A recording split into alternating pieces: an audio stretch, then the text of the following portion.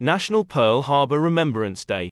National Pearl Harbor Remembrance Day, also referred to as Pearl Harbor Remembrance Day or Pearl Harbor Day, is observed annually in the United States on December 7th, to remember and honor the 2,403 Americans who were killed in the Japanese surprise attack on Pearl Harbor in Hawaii on December 7, 1941, which led to the United States declaring war on Japan the next day and thus entering World War II.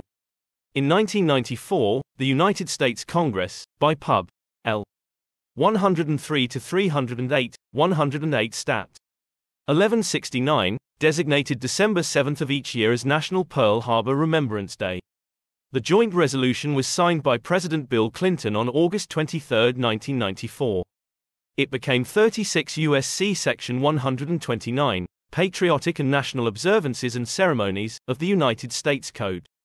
On November 29, Clinton issued a proclamation declaring December 7, 1994, the first National Pearl Harbor Remembrance Day.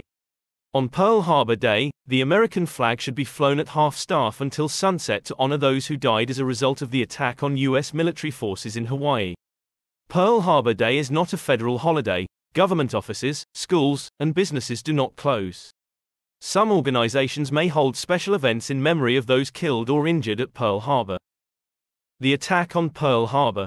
On Sunday morning, December 7, 1941, the Imperial Japanese Navy Air Service attacked the neutral United States at Naval Station Pearl Harbor near Honolulu, Hawaii, killing 2,403 Americans and injuring 1,178 others.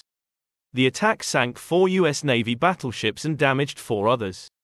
It also damaged three cruisers, three destroyers, and one minelayer. Aircraft losses were 188 destroyed and 159 damaged. Aftermath Canada declared war on Japan within hours of the attack on Pearl Harbor, the first Western nation to do so. On December 8, the United States declared war on Japan and entered World War II on the side of the Allies. In a speech to Congress, President Franklin D. Roosevelt called the bombing of Pearl Harbor, a date which will live in infamy,